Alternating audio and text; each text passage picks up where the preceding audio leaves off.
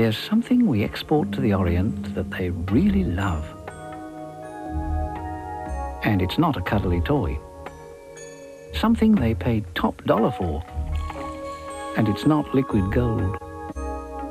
Something they keep coming back for again and again. And it's not a boomerang. It's rice. Sunlong rice. The only rice Australia exports to the ex